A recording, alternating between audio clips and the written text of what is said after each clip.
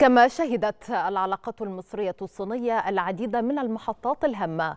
نستعرضها معكم في العرض التالي.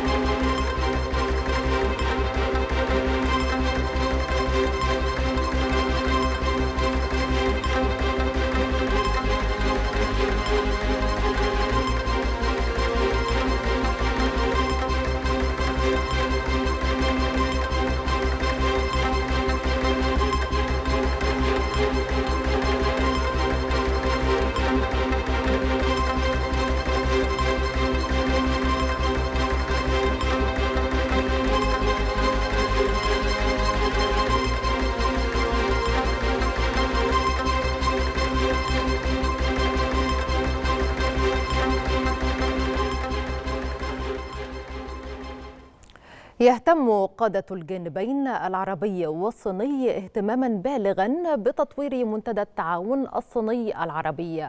وحتى عام 2024 أصدر المنتدى 85 وثيقة ختامية من الأنواع المختلفة وأصبح أداة فعالة لإثراء مقومات علاقة الشراكة الاستراتيجية الصينية العربية.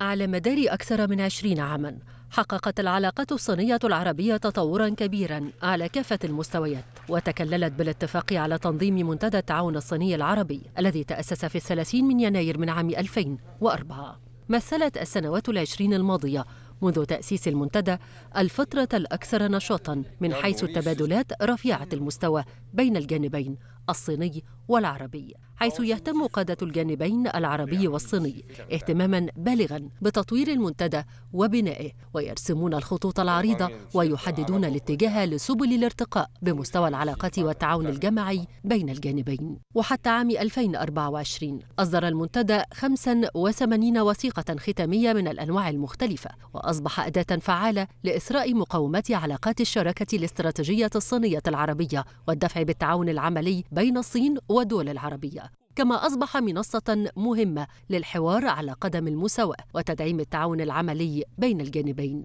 وقدم مساهمات بارزة في تعزيز العلاقات الصينية العربية. يأتي انعقاد الدورة العاشرة للاجتماع الوزاري لمنتدى التعاون الصيني العربي بالتزامن مع استعداد الجانب الصيني للعمل مع الجانب العربي على مواصلة تكريس روح الصداقة الصينية العربية وبناء المجتمع الصيني العربي للمستقبل المشترك.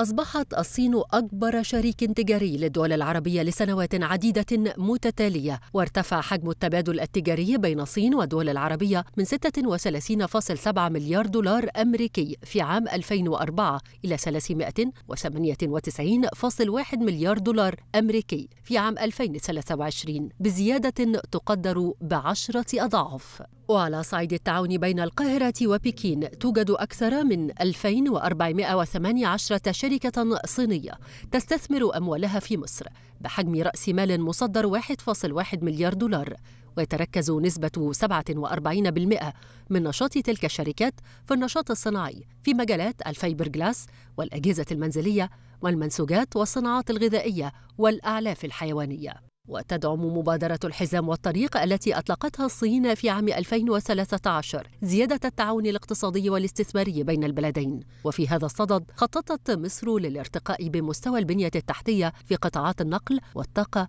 وتكنولوجيا المعلومات. كما تعد المنطقة الاقتصادية لقناة السويس منطقة محورية في إطار هذه المبادرة بما يعزز فرص الاستثمار للشركات الصينية داخل مصر. كما تعد بوابة لنفاذ الاستثمارات الصينية إلى العديد من دول العالم عبر موانيها الستة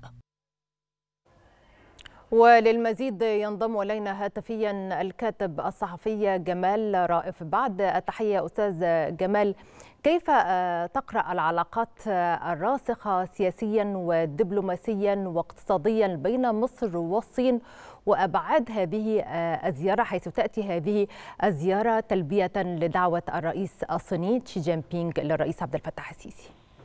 تحياتي لحضرتك وتحياتي لكل السادة المشاهدين. العلاقات المصرية الصينية علاقات استراتيجية وأيضا بتشهد تطور ملحوظ من عام 2014 وبالارقام عدد القمم التي جمعت الزعيمين. بتدل إن هناك تواصل دائم. نحن نتحدث عن إن هذه القمة هي ال11 ما بين القادة.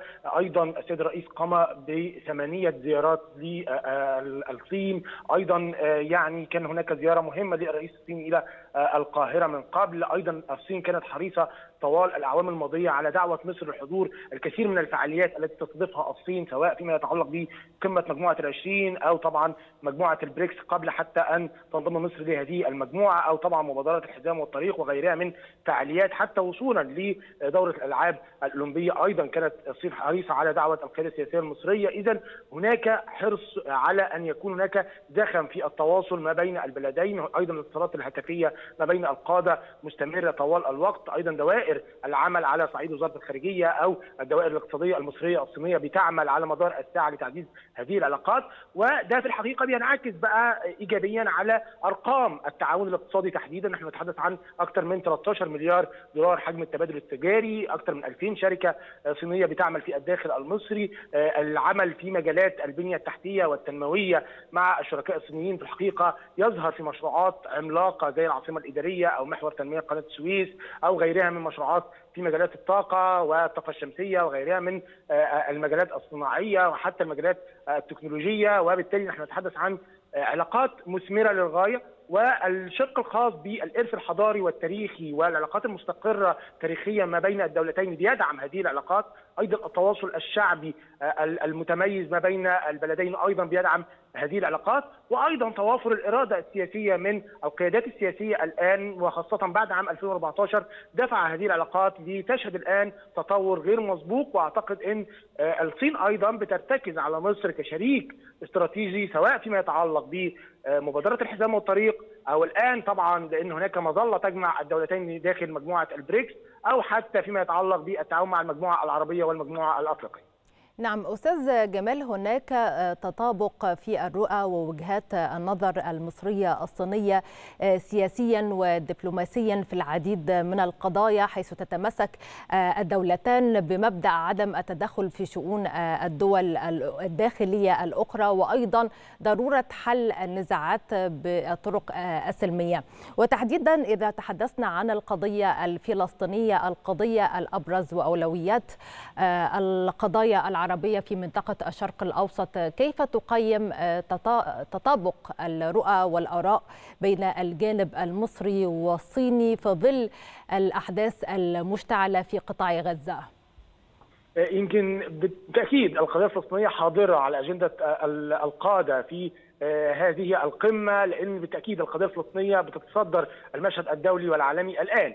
وهناك يعني اتفاق ويعني تقارب وربما تطابق في الرؤى فيما يتعلق بمبدأ حل الدولتين، لا خلاف ما بين يعني كافة دول العالم الآن معظمها يعني يتفق على هذا المبدأ والقاهرة وبكين يتفقا على مبدأ. طبعا حل الدولتين كحل عادل وشامل للقضية الفلسطينية. وظهرت المواقف الصينية الإيجابية سواء داخل مجلس الأمن أو داخل الجمعية العامة للأمم المتحدة أو حتى من خلال تواصل القادة وإبداء وجهات النظر والتنسيق المشترك. وبالتالي أنا أعتقد إن هذا مهم للغاية. وأيضا نعم الكاتب الصحفي جمال رائف شكرا جزيلا لك. كنت معنا هاتفيا. ومشاهدينا الكرام ننتقل بحضراتكم من جديد إلى قصر الشعب الرئاسي بالعاصمة الصينية بكين لنقل فعاليات التوقيع على عدد من الاتفاقيات ومذكرات التفاهم بين البلدين.